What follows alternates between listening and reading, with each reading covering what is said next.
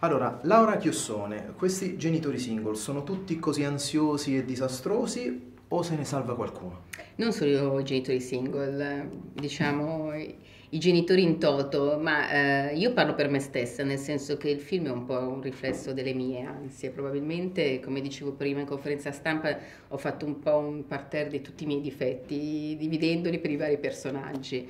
Eh, perché in effetti diventando genitore ti rendi conto di quanti errori puoi fare sia con i figli, eh, ma questa è storia vecchia, sia con gli altri genitori, eh, perché ti ritrovi in gioco, ti ritrovi con dei compagni di classe eh, non so a voi come andava a scuola, io facevo fatica.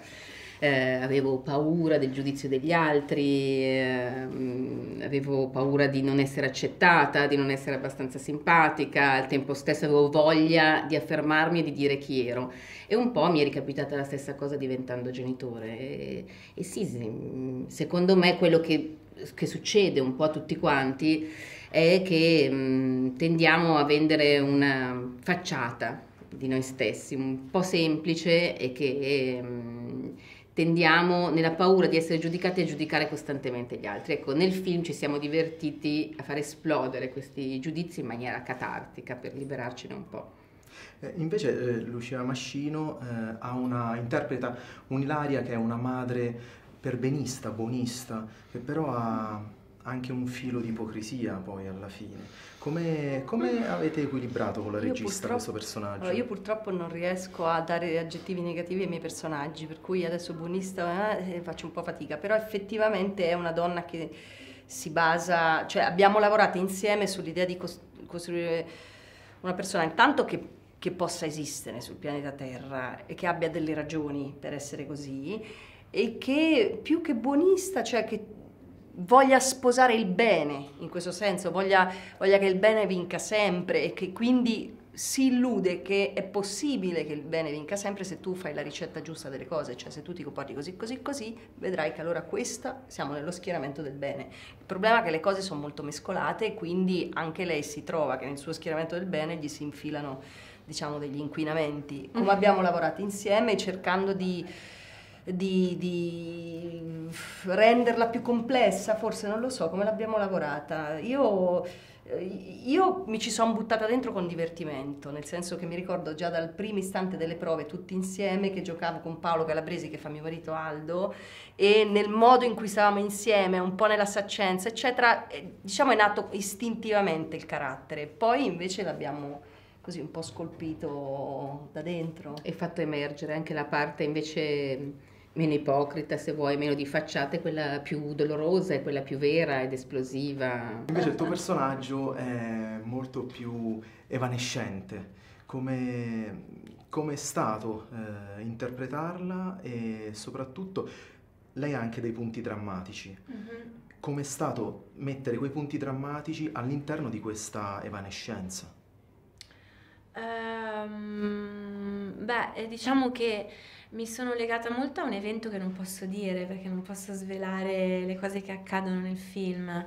Eh, da quelle quindi mi sono legata al fatto che questa donna che eh, usa il proprio abbigliamento, il proprio look eh, come una maschera ehm, e, e, che e che usa la sua indipendenza e comunque espone molto il suo modo di essere eh, e, e, usa molto il fatto di essere indipendente, è una donna sola che lavora, che ama il suo lavoro, che vuole essere donna e non solamente madre, eccetera, eh, ha invece un, un grande bisogno di, di, amore, quindi diciamo il, il, dramma per me nasce da quel, da quel bisogno d'amore eh, che è, è inespresso e che manca però.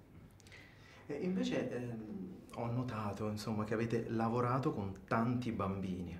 Di solito lavorare con i bambini si dice che è la cosa più complicata in, in un set e mi sembra che sono stati tutti quanti perfettamente orchestrati. Come vi siete trovate, ognuna poi con il proprio, con il proprio bambino, con, con questi piccoli attori?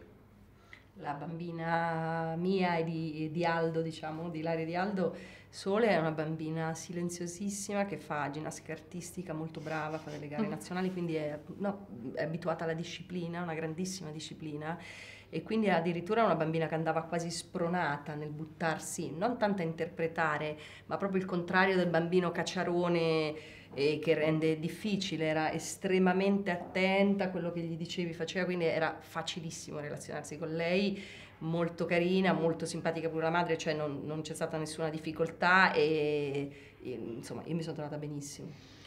Io con mia figlia ci siamo proprio riconosciute, trovate immediatamente e, e lei era così um, dentro al lavoro che faceva così dedita a, alla, alla, recitazione che era come avere un acting coach di mm. fianco, cioè lei mi, ripor- lei mi riportava alla situazione, con, era sempre sul pezzo. Quindi anche io non è che poi avessi tantissime scene con lei, ma lei c'era. Se io la incontravo in giro uh, per...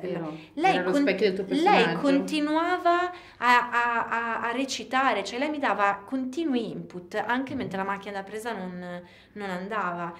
Forse io dovrei portarmela sempre dietro.